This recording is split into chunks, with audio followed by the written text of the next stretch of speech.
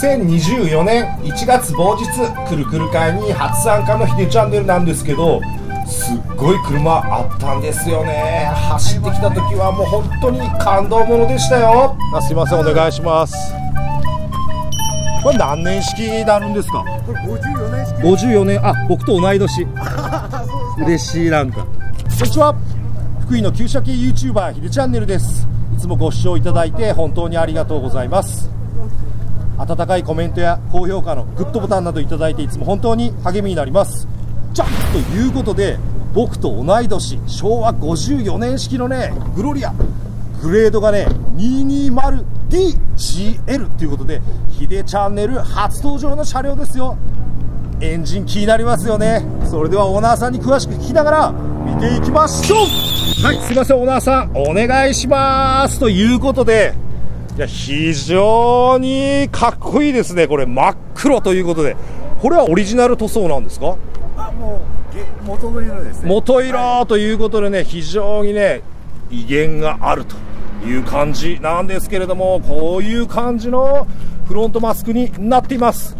あのね小川さん330っていうと横長のねヘッドライトがねまあ有名かなと思うんですけどこちらはグレードが GL っていうことでこの丸めの4等になっているのがオリジナル状態ということでよろしいでしょうか？はいそうですねね素晴らしいですね実はねヒデチャンネル330のねバンに乗っていたことが以前あるんですよねそのバンもねこのはい、ライトマスクでした。なので非常に懐かしく思いながら取材させていただいてます。そしてね、このね、はい、大型のバンパーがね、非常にいかつくてかっこいいですね。で、こちらにはね、はい、グロリアの鶴がいますよということなんですけれども、このね、ボンネットがね、非常にゴツッとしていてかっこいい感じがしますね。いかがでしょうか？かっこいい。はい、そしてね、こちら、フェンダーミラーなんですけれども、やっぱりね、当時の車としても、ね、このフェンダーミラー、ちょっと大ぶりですよね。大き大きめですねね、大体ね、普通のね、まあ、ケンメリとかその辺の車と比べると、まあ、1.2倍から1.5倍ぐらいね、サイズが大きいかなというふうに思います。でもね、この車格に合っていて、こんな感じで非常にかっこいいんですよね。さあ、そしてね、こちら、はい、330といえばね、この大型のね、飾りのついたウインカーが特徴ですね。非常にかっこいいというふうに思います。そして、はい、オーナーさん、こちら、アルミホイールなんですけど、これは円形のアルミホイールということでよろしいですか？そうですね。円形バーですね。バッハということで、バッハとかいうと結構あのアメ車チックにもね、なってる車に結構ついてたりするんですけども、まあ、こちらのね、ノーマルルックの車両にも非常に似合いますね。ありがとうございます。ね、そして、ね、タイヤサイズがどこにあるのかな？こちら 19565R14 インチということでね若干この肉厚のあるタイヤをね履いて非常にこんな感じで渋く決まっています。サイド B はねこういう感じになってますよ。いや非常に美しいセダンタイプということでねこのサイドシルのところのモールも非常に美しい感じ。ねいかがでしょうか。ね、やっぱりね、このサイドシル部分のね、ステンモールがついてると、旧車だなと思いますよね。はい、そしてね、このワイパーなんですけど、まあ最近はね、黒いワイパーが主流かなと思いますけど、まあ、当時はこのシルバーというね、若干このブレードのところがね、細っこいのがね、普通だったんですよね。はい。いや、非常にかっこいいですよね。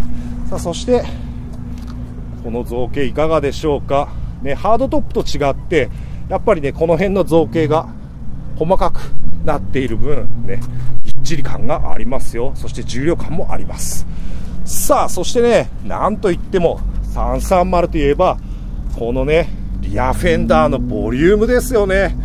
ここねマジちょっとブリスターフェンダーじゃないのかっていうぐらいねゴボッとしてるねこのトランクにつながる形が非常にかっこいいというふうに思います。さあそしてねこちらもはい円形のバッハということでねタイヤサイズはこれ一緒ですか？19565R14 あそうですね。ね、はい。4本通しとなっておりますさあ横にはね、はい、グロリア GL とありますねこのねメッキとこの中がちょっとオレンジっぽい色なのかな。これ当時ね、日産大好きの配色ですよね、これ。そうですねいろんな車にね、こういう、はいね、色味が使われていました。そしてね、リアガラスもこういう感じでね、まあ普通の車のね、はいフロントウィンドウぐらいある、非常にしっかりとしたリアガラスと。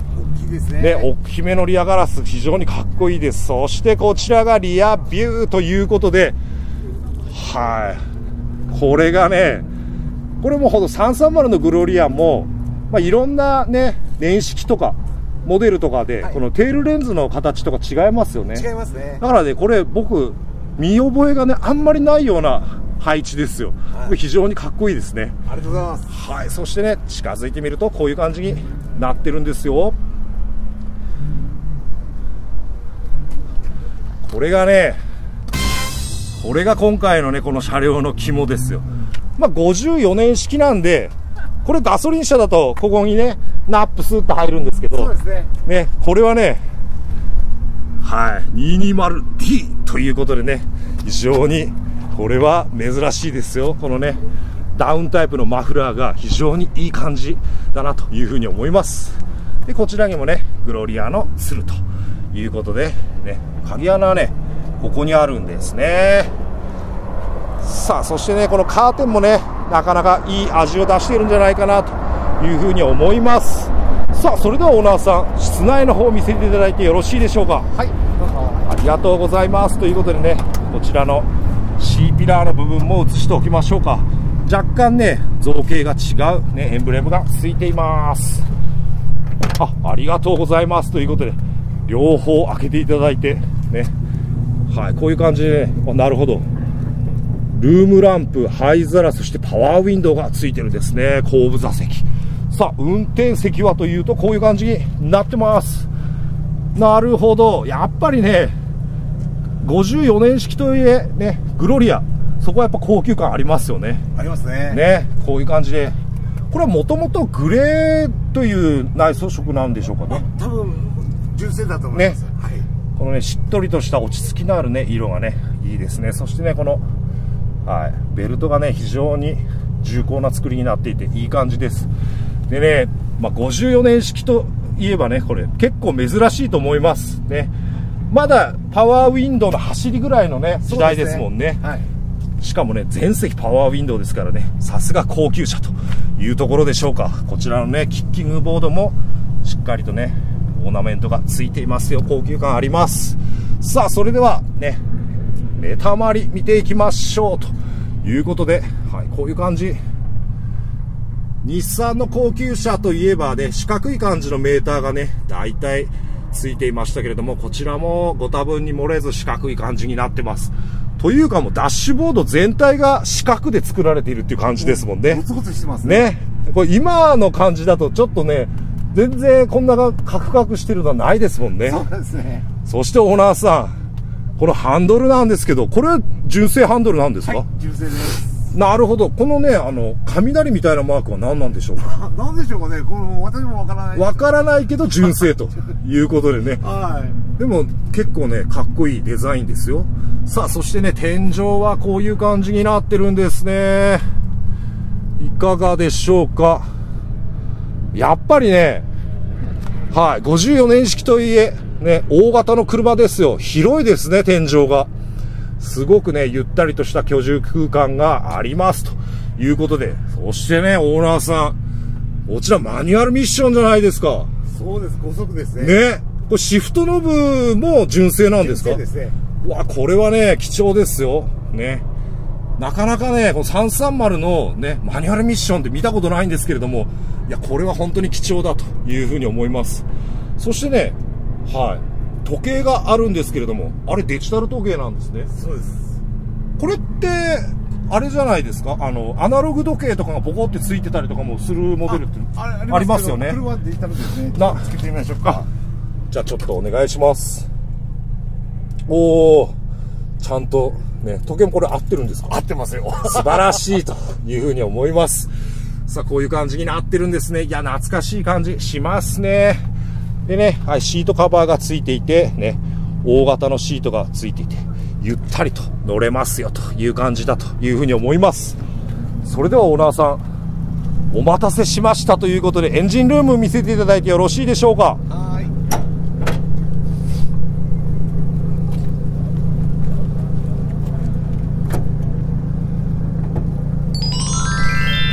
おーこれはということでね。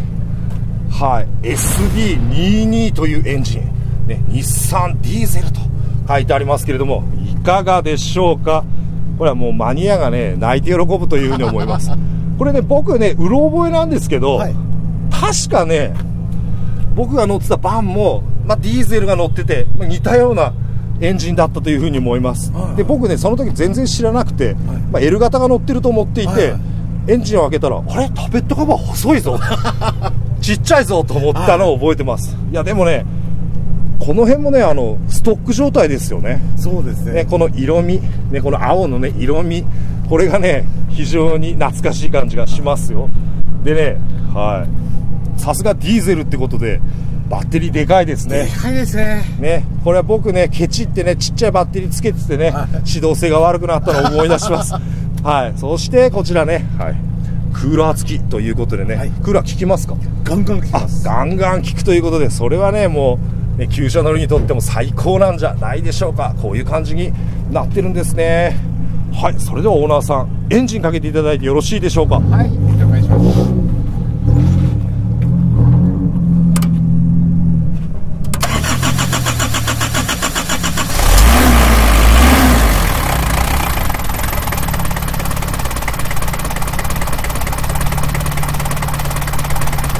はいいかがでしょうか？皆さんあのねアイドリング状態の音をお聞きいただくために若干長めの時間を取ったんですけれども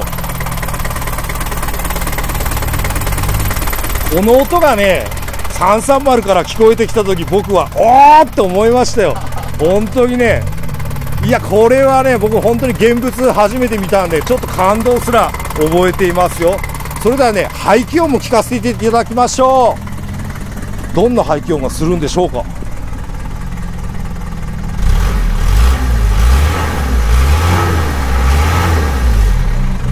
ありがとうございます。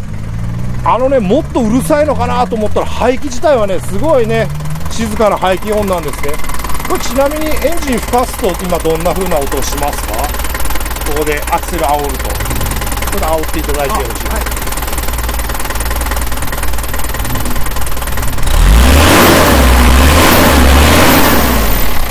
なるほど、ありがとうございます。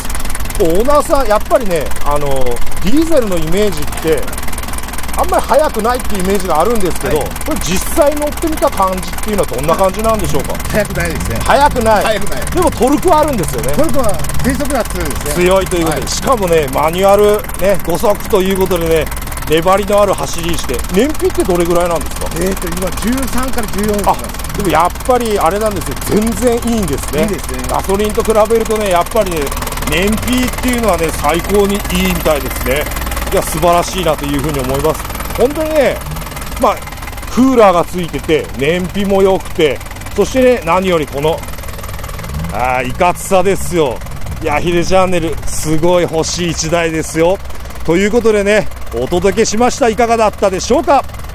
最後までご視聴いただきありがとうございました。もしこの動画が良ければ高評価のグッドボタンそしてチャンネル登録がまだの方はぜひチャンネル登録をお願いします。コメントや応援メッセージなんかいただけると本当に喜びますのでぜひお寄せください。それではまた次の動画でお会いしましょう。次に紹介されるのはあなたの愛車かもしれませんよ。バイバイ。いやこのねディーゼルの音ずっと聞いてられますね。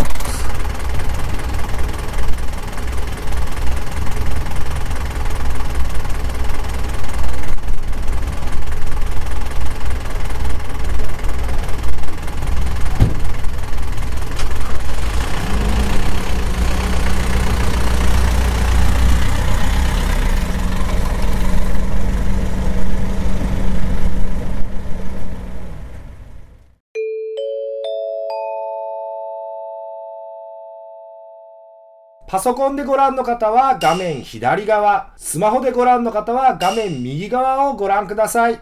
ヒデチャンネルの公式グッズがご覧の動画の下から購入できるようになりました。